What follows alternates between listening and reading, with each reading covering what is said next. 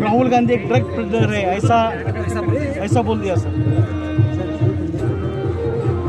Bharatiya Janata BJP is drunk with power and drugged with arrogance. भारतीय Janata party के प्रदेश अध्यक्ष का दिमागी संतुलन खराब हो गया है ऐसा लगता है कि दो लाख करोड़ के ड्रग्स जो अडानी पोर्ट गुजरात से आए थे पच्चीस हज़ार किलो जिसमें से बाज़ार में है। क्या कहीं उनकी, उनमें से कोई ड्रग्स तो नहीं उन्होंने ले लिए? लगता है कि उन्हें ड्रग्स रिहैबिलिटेशन सेंटर में बीजेपी को बगैर देर के फ़ौरन दाखिल करवा देना चाहिए, क्योंकि इस प्रकार के बेवकूफाना ऊट पटांग और पागलपन का बयान केवल वो व्यक्ति दे सकता है जो घोर नशे की हालत में sir ji sir sir sir अब सर अल्पसंख्यक के बारे में बोल दिया।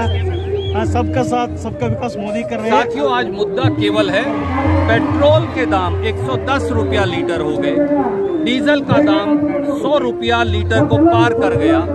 रसोई गैस का सिलेंडर 925 रुपया है।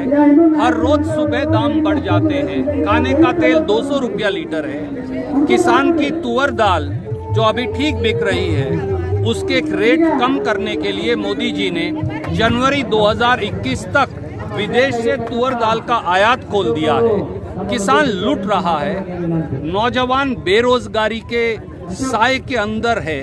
ये मुद्दे हैं।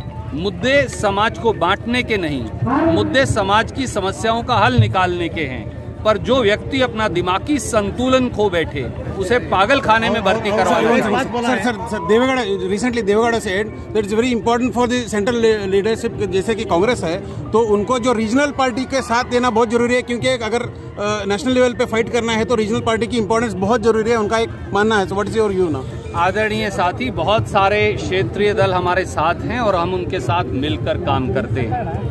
परंतु एक बात ज़रूर यहाँ भी सोचनी पड़ेगी कर्नाटक के लोगों को, कि एक राजनीतिक दल जो केवल बीजेपी की मदद के लिए उम्मीदवार खड़े करता है, वो किसकी तरफ़ खड़े हैं? वो भाजपा की तरफ़ है? या फिर भाजपा से लड़ने में देश की जनता के साथ